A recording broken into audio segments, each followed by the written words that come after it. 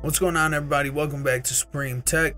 This is another DaVinci Resolve tutorial. Um, this video we're going to show you how to transfer media easily between different timelines, different projects um, without having to use copy and paste because I know it sucks having to use it. Um, it. There's always a lot of problems using copy and paste.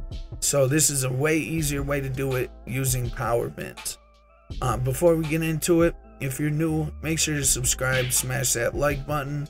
Also, turn on them post notifications so YouTube tells you whenever I come out with a brand new video. And with all that said, let's hop right on to DaVinci Resolve and I'm going to show you how to use power bins.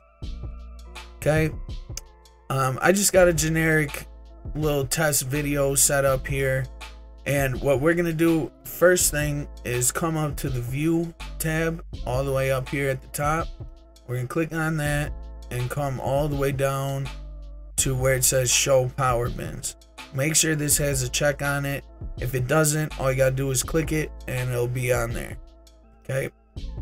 After that, we're gonna make sure that media pool is selected at the top left.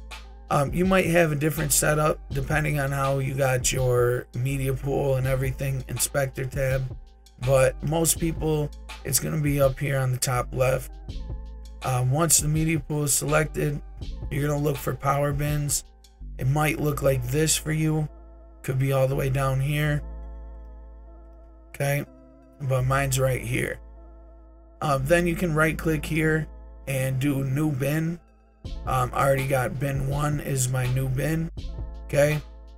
And all you got to do is come to your master again, whatever clip you got up here that you want in the power bin. You just click and drag and move it to bin. Okay. Then when you click on bin one, you see you always have it in here. Right. Um, this is great to have if, say, you have an intro and an outro, or you have some effects that you use a lot, like a subscribe effect, comment below effect. Um, that's what I do personally. So you can see here, let's go back to my media pool. You just click master and I'm going to import whatever I want to put in my power bin. So for me, I want to put this intro. Okay. Do it again, import media. I want to put an outro. Okay. And let's put a subscribe effect. So I'll just put this one here. And that's the three that we want. So all you got to do, just drag them to bin. Click on the next one, drag it to bin. Click on the next one, drag it to bin.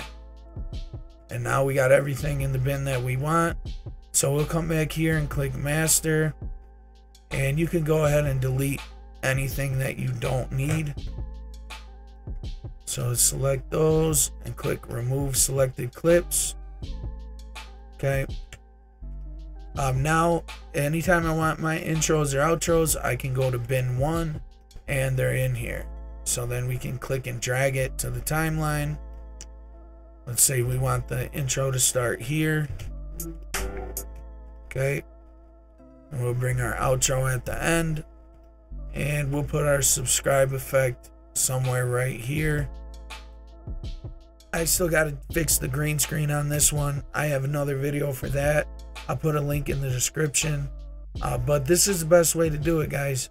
Using power bins, um, it really helps with your workflow. It helps make it faster, helps make it more optimized. So, um, what I want you guys to do is comment down below. Let me know some other useful things that we can use for power bins. Uh, with all that said, guys, I'm going to close this video out. Thanks for watching. Don't forget to subscribe, and I'll see you in the next one.